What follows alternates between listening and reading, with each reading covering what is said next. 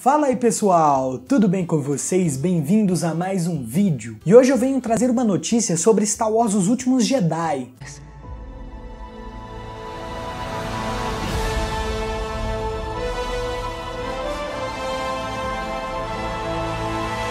O novo Star Wars foi lançado agora no final de 2017 e foi revelado que ele se tornou a nona maior bilheteria da história, ficando atrás de Harry Potter e Vingadores Era de Ultron. Olha pessoal, apesar de eu ter gostado de várias coisas em Star Wars Os Últimos Jedi, ele é um filme que tem vários problemas, que em breve eu quero fazer um vídeo falando só sobre os problemas desse filme. Aí lembrando, eu esqueci de falar, vai ter alguns spoilers, tá? Então fica ligado. Uma das partes que eu mais odiei em Star Wars The Last Jedi foi as cenas do Finn e a Rose, que é a personagem nova, no cassino. Eu achei aquilo super cansativo e desnecessário. Apesar de eu gostar muito do personagem do Finn, eu acho que ele poderia ter feito algo mais importante no filme. Outro desperdício em Star Wars Os Últimos Jedi foi a Capitã Phasma. No outro filme ela já não teve uma participação muito grande e nesse também não teve. E ela supostamente morreu nesse filme, mas muitos acreditam que ela vai voltar, que ela conseguiu sobreviver. Mas será que ela vai fazer alguma coisa de útil no próximo filme? Eu bem que eu gostaria, porque o design da personagem é muito foda, ela tinha um potencial bem grande. E agora falando mais sobre a bilheteria, o filme passou de um bilhão de lucro. Só que ele não vai alcançar o despertar da força, pelo visto, que já passou de 2 bilhões. E é a terceira maior bilheteria da história.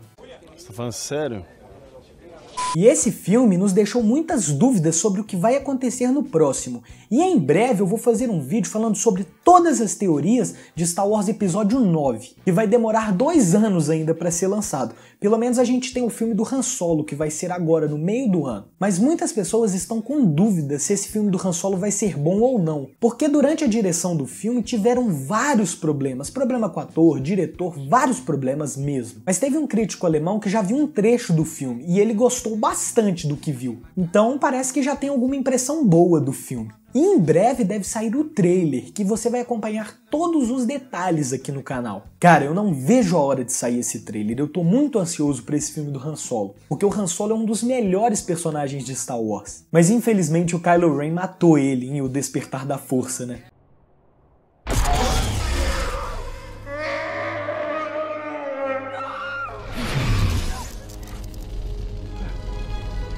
Uma coisa que eu acredito que vai acontecer agora é que, como Kylo Ren matou o líder Snoke, ele acabe se tornando o líder da Primeira Ordem e se torne um vilão bem mais poderoso e pare de ser aquele bebê chorão que a gente viu nos outros filmes. Eu tenho certeza que agora os fãs do Kylo Ren vão estar tá me xingando aí nos comentários.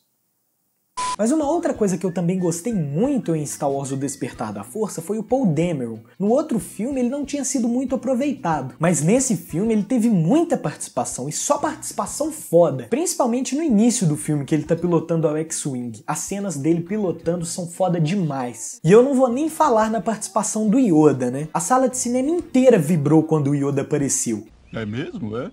E uma coisa que eu acredito é que esse Star Wars 9 se passe uma distância maior desses últimos Jedi. Eu acredito que a Rey já vai estar bem mais treinado, Kylo Ren também, porque para quem não percebeu no filme, ela pegou os livros antigos dos Jedi, então ela própria vai se treinar, né, sozinha. Mas então, galera, vocês gostaram de Star Wars Os Últimos Jedi? Eu achei um bom filme, mas tem muitos problemas. Mas essa é a minha opinião. Comenta a sua opinião aqui embaixo nos comentários. E tem vários outros vídeos de Star Wars aqui no canal e de vários outros filmes. Dá uma conferida e já se inscreve no canal e ative o sininho que quase todo dia tem vídeo novo aqui no canal. E me siga nas redes sociais, principalmente no Twitter, que lá a gente pode bater um papo. Mas então foi isso, galera. Obrigado por assistir e valeu!